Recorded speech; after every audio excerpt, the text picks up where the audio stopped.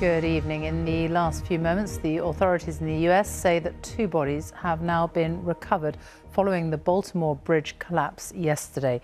Investigators have also found the data recorder from the ship that crashed into the bridge. They are hoping it will explain why the vessel lost power soon after leaving the city's port. Six maintenance workers who fell into the water when the Francis Scott Key Bridge collapsed are all presumed dead. Our North America correspondent Gary O'Donoghue joins us now.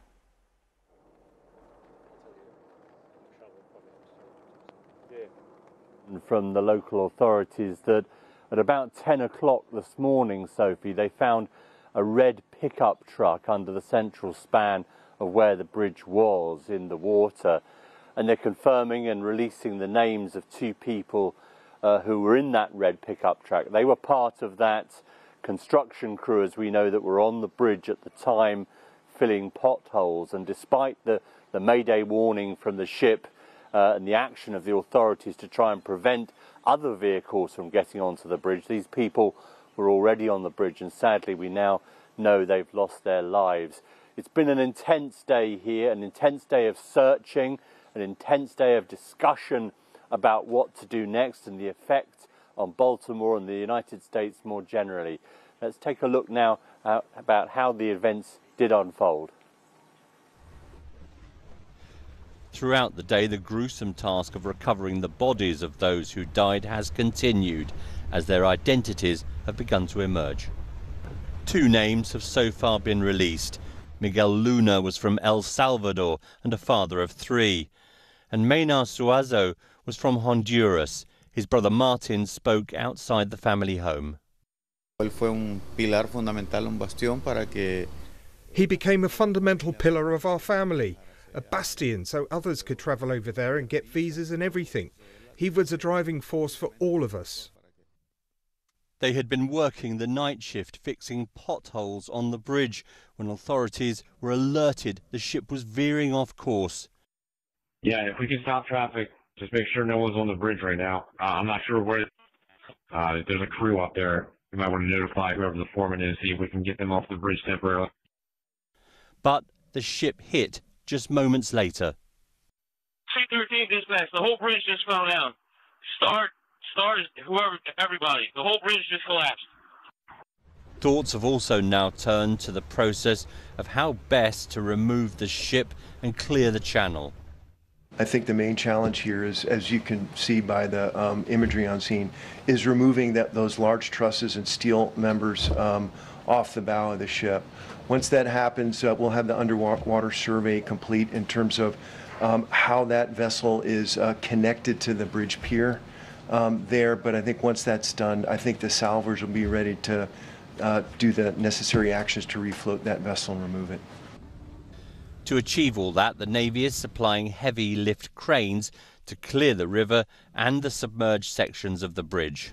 Meanwhile, at least two dozen investigators have been on the ship securing its data recorder and have attempted to reassure the public that the containers on board aren't posing a threat to public health.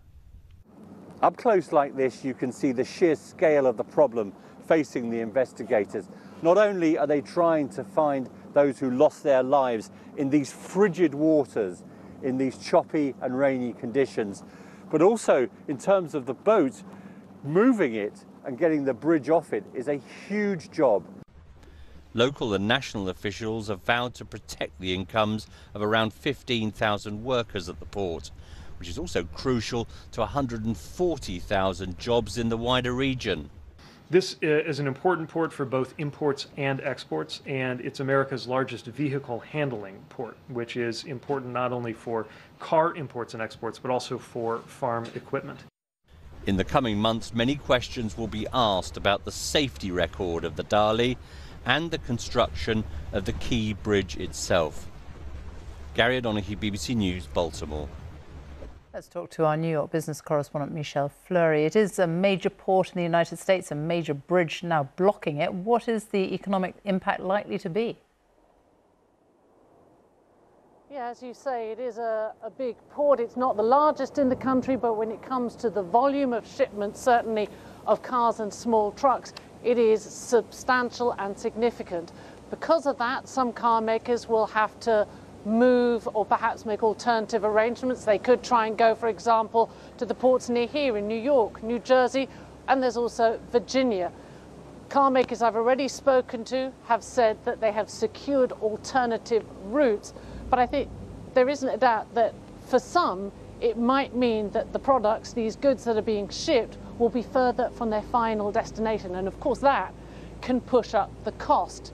Now, we've been talking about maritime trade. There is also the road aspect to all of this. Warehousing and truck deliveries will also be affected. Some $28 billion worth of goods moved across that bridge every year. So that will now have to find alternative methods to kind of get to their final destination. It can be anything from a toothbrush, from a, a cup, you know, all of these kind of household goods now have to travel that bit further.